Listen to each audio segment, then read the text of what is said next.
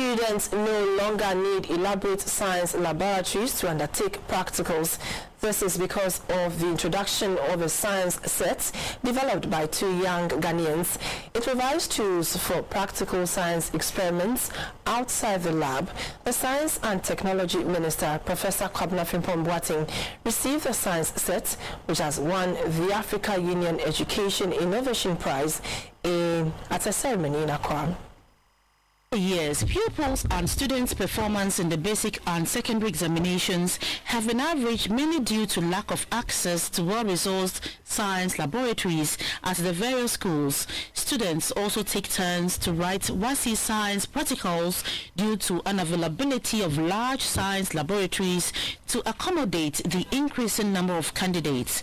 But this narrative is set to change with the introduction of a science set which provides pupils and students with tools to perform practical science elements even in the comfort of their homes. The science test has 45 individual components for different experiments in energy, light, electronic and electrical in physics. So they can do a host of activities right in the classroom and things that are actually directly from the syllabus, things that they are supposed to learn about. They can use the science to perform those activities. They can take it anywhere in their homes, in their classrooms, wherever they may be. Just like the mathematical says, this is a science that they can use it anywhere that they want. The science test has won the first place in the African Union most innovative education solution in Africa. It was developed by two young innovators, Charles Ofori Antipem and Michael Asante Afrifa from Dext Technologies. The Minister for Environment, Science and Technology and Innovation, Professor Kwabena Frimpong Boateng, commended the award winners and urged teachers to design experiments that children can perform in the classroom classrooms.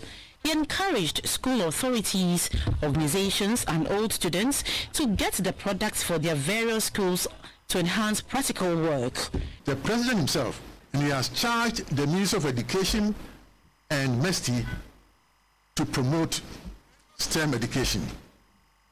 And this is what we are doing. So the government is thinking about it, we are thinking about it, Minister of Education is thinking about it, and so together we are going to help that we move science, technology, and education uh, uh, and engineering forward. Currently, Dext Technology produces more than 10,000 products every month and employs 35 people.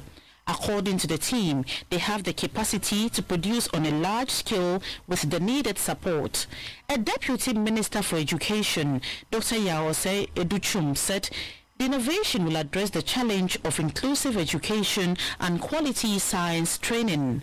The science test was developed under the mentorship of the Ghana India Kofi Annan Center of Excellence in ICT.